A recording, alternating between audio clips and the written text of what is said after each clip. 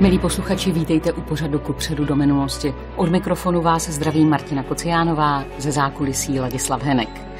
Kdo zapomíná na své dějiny, je odsouzen je opakovat, řekl americký filozof a spisovatel George Santayana. A přestože mu mnozí klasici kontrují výroky o tom, jak podléhá popis historie ruce, která jí píše, tak existují celé vědní obory a thintanky, které se snaží dokumentovat na historických jevech, co by nás mohlo potkat v budoucnu. Můj dnešní host si našel svou vlastní specifickou cestu, která k přibližovat historii svým čtenářům a jak upozorňovat na to, že mnohdy žijeme události, které tady v určité podobě už byly a ne jednou. Píše historické detektivky, eseje, odborné články. Kdo ví, co se z historie dozvěděl on sám, jisté je, že zůstává bdělým pozorovatelem současnosti a tím pádem i kritikem politické korektnosti. Možná proto, že se při noření do historie stotožnil s citátem Eby Ebana, Historie nás učí, že lidé a národy se chovají moudře teprve tehdy, když vyčerpali všechny ostatní možnosti. Milí posluchači, možná, že mnozí už jste poznali, že se mnou dnes ve studiu sedí historik, spisovatel a publicista Vlastimil Vondruška. Buďte vítán. Dobrý den. Já ještě dodám, že na svém kontě máte desítky vědeckých studií a článků o dějinách hmotné kultury, knihy vědecké, populárně naučné.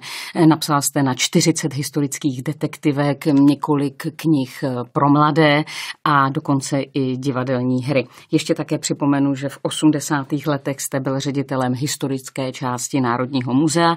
Později jste dokonce podnikal, otevřel jste si sklářskou huť a jen tak bombónek, eh, myslím, že dodnes se věnujete horolezectví. No, do nedávné doby. Do nedávné.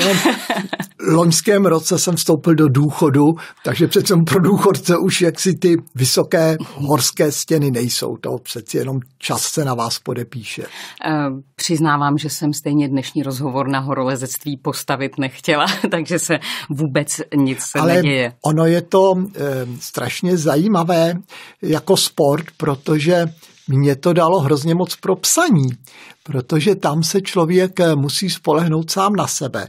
A ty hodnoty v horách jsou takové jaksi mnohem krystaličtější. Tam třeba přátelství je skutečně přátelství. Tam, když se s někým navážete na lano, tak to není jako když uzavřete koaliční smlouvu v politice. Tam si můžete dělat, co chcete, ale když jste v té stěně a jste s někým na laně, tak mu se sakra musíte věřit, protože prostě musíte si být jistí, že vám pomůže. Takže uh, takové ty rytířské cnosti, které eh, přenáším do románů, tak ty já jsem si vlastně prožíval v tomhle svém sportovním životě, čili ono cokoliv děláte, tak vždycky nějak spolu souvisí. Těžko se dá oddělit v životě člověka jedna činnost od druhé. A možná to horolezectví pro historika má ještě další dvě stránky. Tou první je nadhled, kterou člověk získá, a ta druhá je, že ta hora pravděpodobně, představuji si to, protože já horolezec nejsem, tak ta hora podle mě v jednom okamžiku eh, zkontroluje všechno, co jste v tom životě udělal, eh, nasportoval, natrénoval, zjistil. Je to tak? Určitě. Ehm, existuje taková představa nebo filozofická úvaha, že kdykoliv se ocitneš na vrcholu, nezapomeň, že se ocítáš nad propastí. A to je něco, co by si člověk měl neustále připomínat. Možná nejenom člověk, je, ale, ale potažmo celá společnost. Pochopitelně. A myslím, že na vrcholu už jsme byli. Řekněte mi, k čemu se po všech těch letech v knihách um, přikláníte? Myslíte si, že historie se opravdu opakuje, jak eh, to naznačoval Santayana, a její znalost je potřebná pro orientaci v současnosti, anebo se po těch létech studií a bádání přikláníte k těm, kdo ji považují svým způsobem za snůžku nahodilostí, kterým až později vítězové dali svůj smysl? My musíme rozlišit mezi vývojem společnosti eh, a to je něco, co se samozřejmě, co podléhá přesným principům. Tam, ať chceme nebo nechceme, tak pořád, eh, jak si se do toho promítá nezvratitelný fakt, že máme biologickou a sociální podstatu, že existuje zákon reprodukce a že existuje put sebezáchovy. A od toho se samozřejmě odvíjejí nejrůznější principy, které eh, jaksi v minulosti existovaly a které existují. V podstatě laicky řečeno, mění se kulisy, mění se kostýmy, mění se herci, ale ten příběh zůstává stejný. To je takové to střešní, co se týká dějin. Ale na druhou stranu my musíme rozlišit mezi dějinami a tím, jak si dějiny vykládáme a jak je chápeme. Protože eh, naprosto trefně to vyjádřil Napoleon Bonaparte, který řekl, že dějiny jsou v podstatě fáma, kterou přijala většina obyvatel.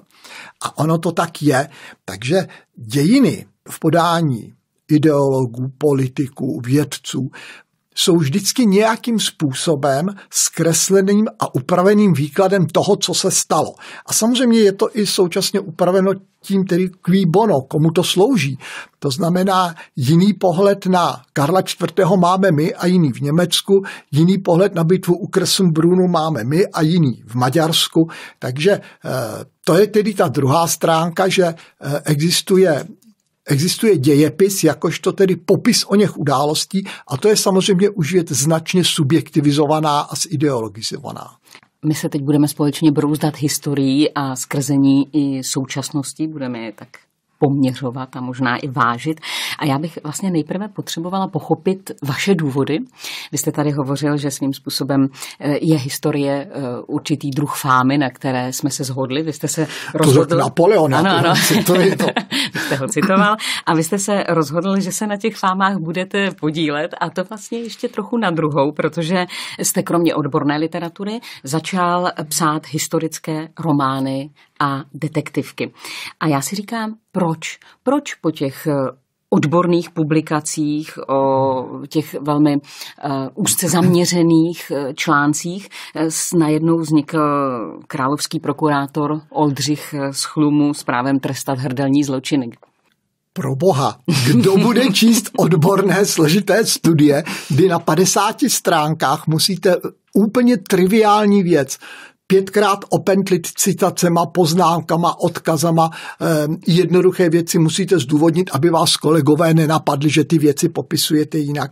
A kromě toho vás pak ti kolegové že, napadnou, eh, že jste něco ukradl. Že, to je, že, ano, ano, to je, to je že jste moda poslední doby, ano, to naštěstí ano, ano. v době mého mládí ještě nefungovalo.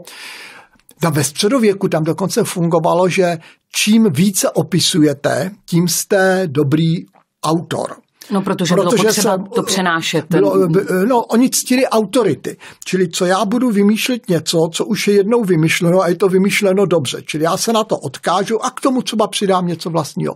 Nicméně tedy, aby se vrátil k tomu, proč beletrie, um, já jsem měl vždycky touhu co nejširšímu fóru čtenářů přibližovat eh, naše dějiny, protože já jak si poučení z vlastních dějin považuji za strašně důležité, protože při dějiny nejsou jenom takové ty nudné, eh, nudná fakta ze školy, kdy do dětí se cpou jména panovníků a bitvy, ale dneska už ani to ne, ale dějiny jsou hlavně obrovský soubor určitých hodnot. A tyhle hodnoty mají podle mého názoru nadčasovou platnost a tudíž my bychom měli vědět a znát to, o čem naši předkové snili, proč oni vlastně bojovali, proč oni umírali. Přeci oni neumírali z plezíru, oni umírali proto, že chtěli lepší život pro sebe, ale hlavně chtěli lepší život pro své potomky. To je v genech všech rodičů. A protože oni vlastně něco budovali, a odkázali to svým potomkům, to je nám, tak to je přeci náš obrovský závazek. A e, my bychom prostě tohle neměli škrtnutím péra zahodit a říct prostě e, těch deset staletí, to všechno byli pitomci, oni jaksi ctili hodnoty, které dneska už vůbec neplatí a my budeme najednou moderně kráčet úplně jinam. To je prostě nonsens.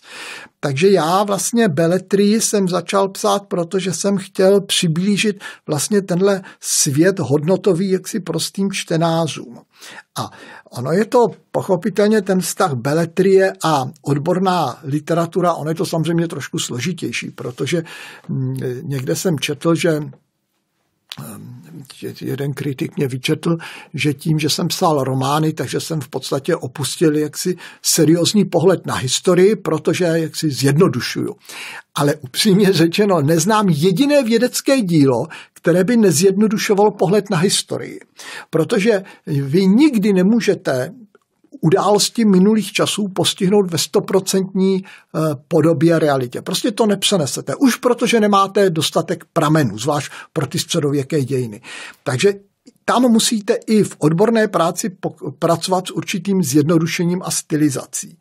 Pochopitelně, že v románu ta stylizace je vždycky větší, to samozřejmě. Musíte i v románech občas některé věci trošku upravit nebo napsat tak, aby to vůbec současný čtenář pochopil. A pak záleží tedy na odpovědnosti autora, do jaké míry s tou stylizací pracuje. Takže já se snažím, i když tedy mnohé věci zjednodušuju, stylizuju, tak psát tak, aby ten celkový dojem, to celkové vyznění té epochy, v níž se ten příběh odehrává, aby eh, čtenáři co nejplastičtěji vlastně tu dobu přiblížil, aby se řekl sakra, ti naši předkové to prostě byli lidé, kteří tedy věděli, co chtějí, uměli se ohánět, ale přitom na druhou stranu uměli se bavit, uměli se smát. Prostě byli to lidé jako každý jiný. Já si také představuji, eh, že pro vás je psaní historických románů oproti vědeckým publikacím obrovská svoboda, protože tady vlastně můžete vzít událost a to, co z ní pramení a říct si, toto se pravděpodobně stalo, mělo to tyto příčiny, pramený materiál k tomu není, ale do románu já to mohu dát.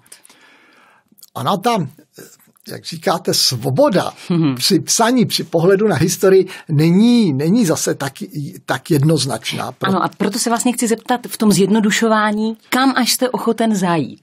Eh, pro mě je důležité to, abych vždycky v maximální možné míře postihl étos doby, morální hodnoty, svět víry, eh, takové ty administrativně sociální vztahy. Eh, to znamená, aby ti aby ty postavy jednaly dobově, aby pokud to jenom je trochu možné, aby jaksi ctili hodnoty té doby, o které píšu. Pochopitelně, pokud píšu detektivku, tak vždycky si musím vymýšlet, protože eh, ze 13. století se nám nedochovalo vůbec nic. Ze 14. století jsou, máme k dispozici pouze několik těch popravčích smolných černých knih, ve kterých máte zapsáno pouze to, kdo byl kde a proč popraven. Nic víc. Z toho žádný přeci příběh nenapíšete. A dokonce ještě z renesance.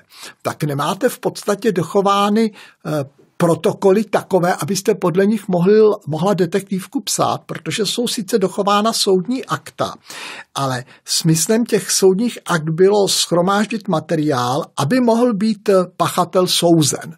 To znamená, je tam jeho přiznání, účet kata za mučení, účet kata za popravu, soupis škod, ale nejsou to vyšetřovací protokoly. To, jak ho chytli, to tam není. Takže vždycky při psaní detektivky musíte pracovat s fantazí a popravdě řečeno, chcete-li napsat čtivou detektivku, pak vždycky si musíte ten příběh vymyslet, protože skutečný zločin je většinou smutný, hloupý, banální. Kdyby Agáta Christie psala své detektivky podle protokolu Scotland Yardu, tak to taky nebude k přečtení. Takže samozřejmě závisí na na žánru. Na druhou stranu, když třeba jsem psal přemyslovskou epopej nebo tu husickou epopej, tak tam ta základní kostra příběhu musela být naprosto přesná. Tam, i kdybych chtěl, tak přemysla Otakara nemůžu nechat na Moravském poli vyhrát, protože prostě tak se to nestalo. Takže tam um, vlastně pracuji tak, že mám teda základní kostru, která je naprosto přesná. Do ní se snažím včlenit všechno, co naleznu v pramenech. To znamená i takové ty různé drby, které jsou v těch různých bavorských kronikách a tak o přemyslovcích. Tak jsem se snažil tedy použít, aby tedy jsem je zobrazil co nejvěrohodněji, ale pochopitelně vždycky musíte vymyslet nejrůznější dějové spojováky, které se snažím psát tak, aby vycházely z povahy těch hrdinů, tak jak já si je tedy analyzuji, ale musíte prostě domýšlet. To prostě bohužel jinak v beletrii nejde. Ale míra věrohodnosti u těch epopej je samozřejmě o, o level výše než v detektivkách. My máme dnes takový poetičtější úvod k tomu našemu povídání o současnosti, protože mě velmi zajímá, skrze jaké prisma vy vlastně tu současnost vidíte a jaký pasírujete přes tu historii. Eh, vy jste říkal, že je potřeba zachytit vždy v těch románech mnohem více než třeba v té odborné literatuře atmosféru doby, ducha doby. Eh, v jaké epoše je vlastně nejtěžší zachytit, protože vy máte, vy jste takový doširoka rozkročený, jak už jste tady zmínil, je to husická epopej, přemyslovská epopej, ale do toho tady třeba monopolizace cukrovarnictví v českých zemích do roku 1938. Eh, to už je odborná literatura. To už je ale... odborná literatura, ale já těmhle, řekněme, industriálním tématům jsem se nevyhýbal ani v beletrii, protože teď začal vycházet nová sága, která se jmenuje Křišťálový klíč a ta se odehrává vlastně od konce 17. do konce 18. století a je to, což je vlastně doba takového toho manufakturního boomu v českých zemích, takže jak si e, tam zase jsem tedy jaksi fruktifikoval jednak své znalosti sklářské, ale jednak právě vlastně takové ty studie o proměnách společnosti, o urbanizaci venkova a tak dále. Takže eh, ano, tak široce rozkročen. Ano a ne, protože v podstatě všechny tyhle příběhy jsou eh, situovány plus minus do období feudálního. A on ten feudalismus, on se zase tak strašně moc neproměňoval. On samozřejmě, jak jsem říkal na začátku, mění se kulisy, ale příběh zůstává stejný. A e, on ten e, středověk nebo potažmo feudalismus, on měl obrovskou statiku v sobě i z hlediska života, administrativy a tak, protože my třeba jsme zvyklí na to, že když se vydá nějaký zákon, tak během roku se šestkrát novelizuje, jednak protože ho poslanci schválí blbě, jednak protože se pak ukáže, že vlastně tohle nemůže tak fungovat a tak dále ve středověku. Tam měli obrovskou úctu vlastně k tradici a k zákonům. Tam, když třeba v 13. století se kolonizovaly ty lesní hvozdy, tak se s těmi eh, venkovany, kteří tam přicházeli, uzavírali ty takzvané emfiteutické smlouvy, což byla smlouva mezi majitelem toho pozemku a tedy tím venkovanem s tím, že on mu za určitých podmínek nechává pole a on se za to zavazuje, že bude platit peníze, odvádět robotu a tak dále. V průběhu dalších staletí samozřejmě docházelo k obrovské devalvaci, protože jak eh, byl stále větší a větší nedostatek drahých kovů, no tak eh, se museli ty mince ředit aby tedy bylo dostatek mincí na trhu. Takže eh, od 13. století do počátku husických válek klesla hodnota některých stříbrných mincí až um, pětkrát, šestkrát. Ale smlouvy se nezměnily. To znamená, vrchnost stále ctila nebo si musela ctít smlouvu ze 13. století. Takže před husickými válkami ta hodnota mince klesla už tak drasticky, že rytíř, který vlastnil vesnici, tak na těch penězích, které od svých podaných dostával, tak ta roční renta jeho v součtu byla míň, než si vydělal stavební nádeník v Praze. Ale přesto oni to neměnili.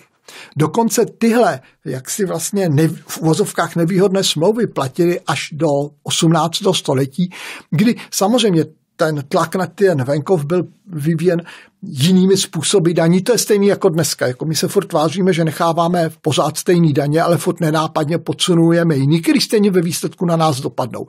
V tom 18. století to dělali stejně, takže byly nějaké mimořádné roboty a mimořádné berně, ale ta základní suma feudálních povinností byla v podstatě pořád stejná jako ta středověká. Takže on ten středověk má v sobě strašně zajímavý étos v některých těchto záležitostech, takže ano, píši z různých časových epoch, ale ten příběh často bývá pořád stejný. Já jsem se původně ptala, eh, u které doby je nejtěžší zachytit atmosféru té doby.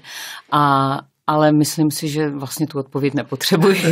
tak pro mě by bylo mnohem eh, nejtěžší zachytit atmosféru, řekněme, počátku knížecích Čech a doby velkomoravské, kde nemáme k dispozici dostatek písemných pramenů a tam bych musel pracovat už opravdu s fantazí. Ale já právě jak si se snažím psát alespoň o takové době, kterou si přes ty kroniky a, a ty jiné písemnosti umím představit. To, co vy jste teď řekl o vlastně velké emfiteutické kolonizaci a o těch lhůtách, které tam vznikly, kdy ti přišedší dostali prominutí a pardon, když zakládali vesnice, městečka, eh, oddaní a podobně, eh, tak eh, to se vlastně tak ostře bije s takovým tím běžným názorem, protože velmi často můžeme o středověku, zejména o tom raném, slyšet, to musela být ale hrozná doba k životu. Špína, nemoce, hlad, bezpráví. Byl to opravdu tak hrozný život, a, nebo máme o středověku docela zkreslené představy. Jak to vnímáte vy? Tak jedna věc je, jak to vnímáme my našima zjemnělýma očima a druhá věc je, jak oni vnímali svůj život sami. To, co je obklopovalo. Protože e, pojemy jako bezpráví, hlad, e, nejistota, čistota, špína, to je pojem relativní, záleží na okolnostech. Takže eh, určitě třeba ti, kteří žili na dvoře Ludvíka 14., tak byli samozřejmě přesvědčeni, že žijou v luxusu a v přepichu. My, kdybychom tam přišli, tak se otřeseme odporem, protože byly naprosto otřesné hygienické podmínky, protože ve Versailles byl nedostatek toalet, takže eh, ten, kdo čekal na audienci u panovníka a nemohl odejít z toho předsálí a tlačilo měchýř, no tak se vymočil tam přímo na stěnu. Eh, čili to jsou věci, které, které by nám připadaly naprosto ohavné, otřesné, ale oni to tak nevnímali. Totež pojem zda žiju šťastně či nešťastně. Eh, lidé ve středověku, tak eh, všichni v podstatě žili pouze pro tři základní cíle. Uživit sebe a svou rodinu, mít partnera, s kterým si budu jakž takž rozumět a mít s ním děti. Protože v dětech pokračuje kontinuita rodu. To oni cítili jako svůj hlavní závazek ve světě pozemském a pak případně tedy ještě rozhojnit majetek a udržet ho. Pokud se nad tímhle zamyslíte, pokud zrovna nepřijde 30-letá válka nebo velká morová epidemie, no tak to jsou přece cíle splnitelné. A proto oni žili s přesvědčením, že žijí šťastně a spokojeně, protože naplňují smysl své pozemské existence. Oni žili pragmaticky, racionálně. Oni se netrápili tím, že nebudou krajským hejtmanem. Oni se netrápili tím, jestli se panovník chová hanebně a jestli mluví sprostě a jestli se, jak se někde na, v zahraničí nějak domlouvá nebo nedomlouvá. To bylo úplně mimo ně. Oni měli svůj okruh hodnot a těmi žili. A když se pak podíváte na eh, třeba zápisy renesanční, o různých katastrofách a analyzujete si styl, jakým způsobem tyhle věci se popisují, no tak zjistíte, že ti lidé byli navíc nesmírně pozitivní. Dneska pokud se podíváte do médií, tak já mám často pocit, že jsme těsně před apokalypsou. Tam furt někdo fňuká, furt se prostě někomu něco nelíbí a tak. Ti naši předkové, pokud se stala nějaká katastrofa, třeba morová epidemie, tak ty zápisy jsou vedeny většinou v duchu. Černá smrt si v naší obci vzala 20 životů sousedů, nejspíše je to boží trest za naše hříchy. Musíme se napravit, aby se podobná neštěstí neopakovala. Oni věřili, že skutečně drží osud ve svých rukách a pokud se budou chovat tak, jak se od nich očekává, tak se jim s boží pomocí povede stále lépe a lépe. Takže oni byli pozitivní, oni nefňukali. Dneska furt jenom fňukáme, fňukáme, fňukáme, přitom nejsou č, eh, epi, morové epidemie, nejsou války, eh, nemá, nejsou hladomory, takže oni byli mnohem takový jaksi konzistentnější a uměli si ten život víc užívat. A teď se musím zeptat, eh, do jaké míry je vaše vykreslování toho, řekněme, raného, vrcholného nebo i pozdního středověku dáno vaší představou, jaký byste ho rád měl a, a tím, jak to skutečně mohlo být, jestli to vlastně jsme schopni eh, absorbovat, vnímat. záleží na tom, jakým způsobem prameny interpretujete a jakým způsobem s nimi pracujete. To máte stejné jako dneska. Máme sumu událostí o tom, co se stalo na Majdanu. A přesto máte naprosto rozdílné hodnocení a pohledy. A teď, který z nich je správný? Jak si jak si to skutečně záleží na tom. Chybí nám co... pár století odstupu. E, to také, ale obecně závisí na tom, že vždycky ty události vyhodnotíte nějakým prismatem svých zkušeností. Takže já samozřejmě vycházím z nejrůznějších eh, zpráv a pramenů, které jsou někdy často trošku jaksi zasuté a e, okrajové. Ono je to také totiž dáno tím, že když tedy se začala formovat ta oficiál, začal formovat ten oficiální pohled na naše dějiny v době Palackého, VV Tomka a tak dále, no tak to byla přeci doba Jany Érové. A stejně tak, jako byli prudérní tyhle dívenky, tak byli prudérní tihle historici. A tudíž oni vlastně vytvořili naprosto impotentní pohled na dějiny, kdy oni v duchu těch starých kronik sice popisují, jak ty lidé bojují a, a, a zakládají ty kláštery, ale v podstatě velice málo si všímají toho, jak oni ve skutečnosti žili. Já jsem e, připravil takové divadelní představení, jmenuje se Vínem proti pohanství a staročeský Dekameron což je taková říčka o tom, jak se v, ve středověkém Šenku sejde univerzitní mistr pronásledovaný inkvizicí, tuhle roli jsem zodpovědně svěřil sám sobě, sejdil se tam sem několika trubadury, kteří tam zpívají, jsou tam dvě hezké sklepnice, které tancují a tak. No a protože je venku špatný počasí, tak my tam prostě sedíme a vyprávíme si o životě. A všechno se točí pouze kolem pití alkoholu a sexu. A všechno to, co tam říkáme, i když jsou to někdy zdánlivě naprosto kuriozní věci, tak je doloženo v pramenech. Naprosto přesně. A nejsou to jenom nějaké okrajové zmínky, protože ona středověká církev, kromě toho, že eh, jak si produkovala nejrůznější kazatelské útvary, ve kterém nabádali lidi, jak mají žít cnostně, tak současně vytvářela různé předpisy a normy, protože středověká církev si potrpěla na předpisy stejně jako Evropská unie. A nevěřila byste, co všechno se dá znormovat. Protože eh, ona, ta středověká církev, eh, ona, ona, její filozofie byla jiná, než tak, jak se na církev my díváme barokníma očima. Barokní církev byla přísná a nesmířitelná, protože se trestal každý hřích, což ale bylo dáno filozofií stanovenou na Tridentském koncilu v polovině 16. století a ten Tridentský koncil se konal proto, aby se postavila hra z protestantismu. Ano, to byl ten bůh trestající. Ten bůh trestající. Mm-hmm.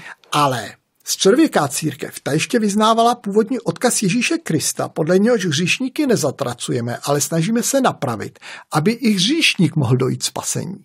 Ale na druhou stranu nesmíte si hřešit do aleluja. A proto oni stanovovali normy, kam až můžete zajít a jak, kolik hříchů a jakých hříchů můžete spáchat, aby vám bylo ještě odpuštěno a kdy už budete zatracena. A oni znormovali chlast, sex, módu, eh, manželství, eh, dokonce i způsoby válečnictví, prostě naprosto všechno. A to jsou často neuvěřitelné normy, protože oni opravdu odrážejí dobovou realitu. Takže ten eh, prostý život nahlíženo jaksi určitým typem pramenů, byl skutečně takový, jaký popisuju. Mě třeba pár čtenářů z začátku psalo, že si vymýšlím, když tam píšu, že pan Ošota v každém díle mohl svést jednu sklepnici. Že všichni přece víme, že ženy kdysi byly cudné a nehřešily a pokud ženy hřešily, tak byly trestány a, a, a pranízovány a tak. No, Samozřejmě jak si tohle z toho najdete v Palackém, ale pokud se pak podíváte do e, církevních pramenů středověkých, no tak tam třeba pro e, milostné konání mm-hmm. třeba, tak e, v polovině 12. století jeden církevní koncil se zabýval problémem, kolikrát může žena ve svém životě milostně tělesně zhřešit, aby byla ještě spasena. Dospěl k číslu 40. A ta teorie říkala, pokud bude mít žena ve svém životě méně než 40 milenců, ale vykoná pokání, bude spasena. Teprve ta, která bude mít milenců více než 40, bude zatracena. No a na venkově uměli počítat do deseti. A to neplatilo až do Tridentského koncilu. Totež, totež třeba jaksi pití alkoholu. Jaksi staročeskou tradicí přece byly přípitky. Přípitek vychází z takové té pohanské tradice, že pokud někomu přejete, tak vy mu musíte za to poděkovat. Na, té, na tomhle principu je třeba postavena koleda. Mhm. Jo, to vlastně úplně ten samý princip. No a u přípitku to bylo tak, že každý přípitek, za přípitek musíte poděkovat proti přípitkem. A dokud je na co připíjet, hostina nemůže končit. Takže skutečně se připíjelo, dokud se nesva, pokud měli dostatek pití, dokud se nesvalili pod stůl. Dokonce staré úsloví říkal, že hostina, z níž by hosté odešli po svých, se nepovedla. A hostitele všichni pomluvili, že byl lakomec. A pokud si najednou rozklíčováváte, a tohle jsou skutečně reálné zprávy, pokud si tohle rozklíčujete, no tak pak najednou zjistíte, že on ten život vypadal přeci jenom trošku jinak. Nebo řekněme, vypadal tak, jak ho popisují ve svých románech. A totež, pokud se podíváte na takové ty úvahy o odpovědnosti, protože oni navzdory tomu, že mnozí byli lidé nevzdělaní a tak dále, tak přesto oni cítili obrovskou odpovědnost eh, za svoji rodinu, eh, za své hospodářství, za svoji obec. V celku logicky, protože oni věděli, že nikdo jiným nepomůže. A tudíž pokud došlo k nějakému průšvihu, tak to nebylo jako dneska, že prostě natahujeme pořád ruce, postarejte se o nás a když nám někdo ublížil, tak nám to někdo zaplatíte. Ne. Oni věděli, že se musí postarat o sebe sami. A tudíž byli mnohem rezistentnější a akčnější, protože prostě nikdo jim nic nedal. Pojďme se ještě vrátit k tomu, co vy jste říkal, že naši předkové byli pragmatičtí, že měli tři cíle. Uživit se, mít eh, dobrého partnera, mít s ním děti a případně rozhojnit majetek a v dobré kondici ho dětem předat. Když eh, se nad tím takto zamyslíme, tak eh, to jsou velmi materialistické cíle a z našeho současného pohledu, protože my jsme takový jakože ušlechtilí, že jo, tak jsou takové jako velmi přízemní. Řekněte mi, myslím to trošku ironicky, jak důležitou roli tedy pro tehdejšího člověka hrál duchovní život, ať už náboženství, pověry, mýty. A narážím tady na našeho uh, dřívějšího hosta, profesora egyptologie Miroslava Bártu, eh, který, když hovoří o tom, co nás vede do krize, tak mluví o tom, že nám schází vertikální směr, že nevidíme, už nezakláníme hlavu a nedíváme se k nebi s pocitem nějaké eh, úcty, důvěry a možná i úzkosti. Jak to měl tedy ten středověký člověk, když věděl, že je potřeba se uživit, nakrmit děti, něco jim nechat? Tak kde, kde v tom je ten duchovní rozměr? Um, víte, máte-li přežít v podmínkách eh, hodně složitých, tak nemůžete být blouznivec jak si ti lidé samozřejmě museli věřit v Boha, protože bez takové té představy, že je nad vámi někdo, kdo ty nejhorší věci jak si, jak si zahladí, bez toho oni by se v úvozovkách zbláznili. Ale na druhou stranu oni pragmaticky věděli, že nikdo za ně ne, to obilí nezaseje. Nikdo za ně ten dům nepostaví. Čili oni vlastně měli víru něco jako hůl, o kterou se opírali při cestě životem, ale kráčet museli sami. A e, ta, navíc oni opravdu nebyli, jednak nebyli fanatici. A až na samozřejmě vždycky pár najdete výjimek, ale prostě obecně oni prostě víru brali skutečně jaksi jenom jako součást toho svého bytí, jako určitou věc, která je jaksi prostupuje, naplňuje, ale navíc ještě pořád musíme brát obrovský eh, rozdíl, my často směšujeme v, v pohledu na středověk úctu v Boha v poslušnost vůči církvi, což není pravda. Oni se na církev dívali jako na úřad, který jim má zprostředkovat tu boží milost. A když se potom ve 14. století začala zvedat různá kacířská hnutí, tak to nebyly ateistická hnutí proti Bohu. To byla eh, hnutí věřících proti církvi, církev. protože církev chce peníze, a neplní to, co má, to znamená, nedokáže tu boží milost vyprosit. A e, takže oni ti lidé, jak si i v, ve vztahu k té víře byli, když to tak vezmete, pragmatičtí. Oni byli ochotni tu církev akceptovat, dokud se jim dařilo dobře. Pokud se jim nedařilo dobře, no tak prostě ta církev prostě dělá svou práci špatně. Každý má na tom světě nějaký účel, čili oni zase nebyli až tak naivní, jak si můžeme myslet. A také v tom bylo Ale... to, když ta církev příliš eh, kázala vodu a pila víno.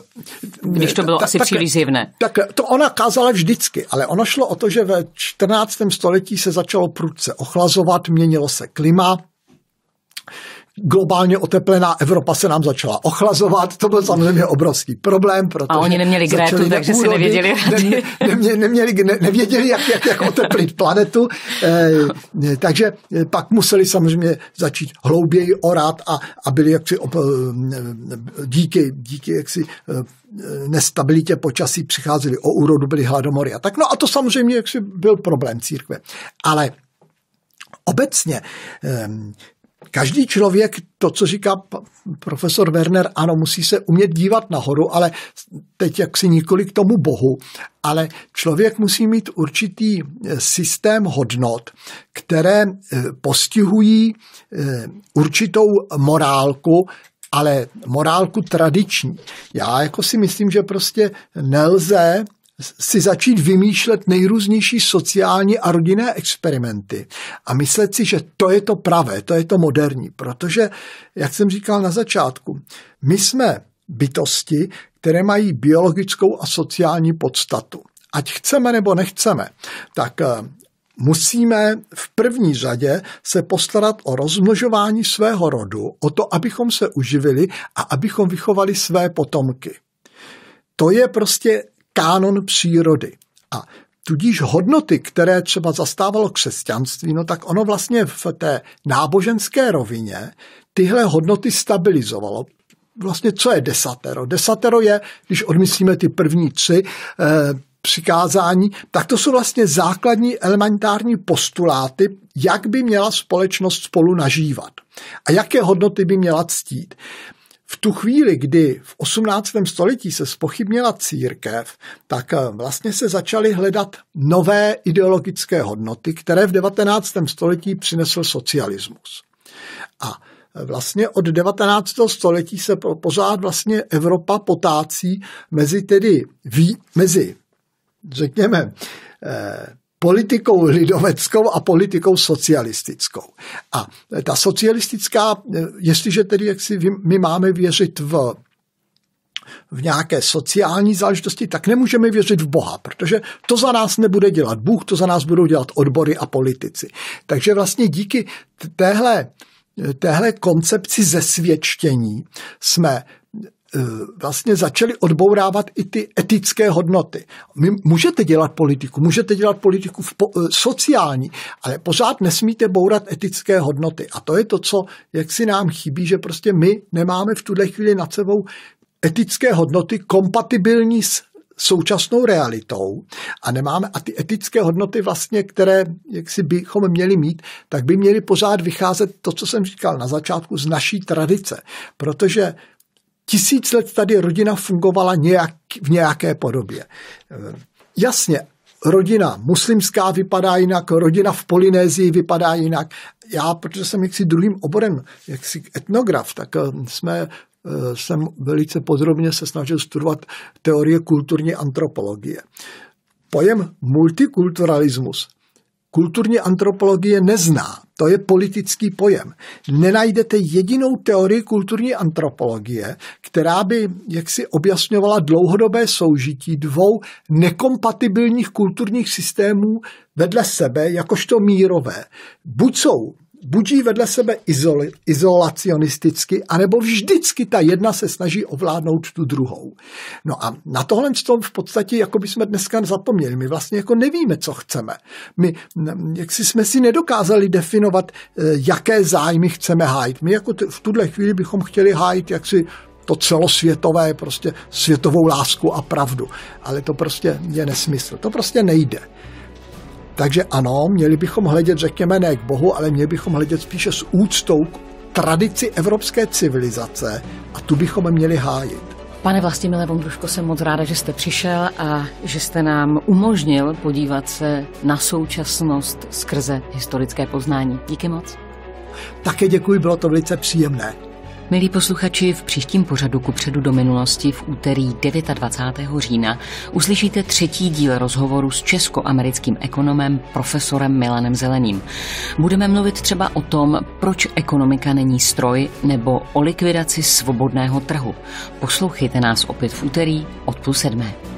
Člověk může způsobit eh, problémy také tím, že nerozumí nebo neuzná, že ekonomika není stroj a že se vyvíjí podle svých eh, přirozených zákonitostí a proto odmítám to, co se často říká, že nastal soumrak kapitalismu, protože soumrak svobodného trhu nenastal, ale svobodný trh byl zničen eh, státními intervencemi. Téma na příště už znáte. Své názory a postřehy nám můžete napsat na náš Facebook či web ku predu do minulosti a tam si můžete poslechnout také všechny doposud odvysílané pořady.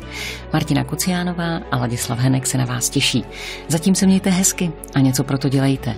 Nikdo jiný to za vás neudělá.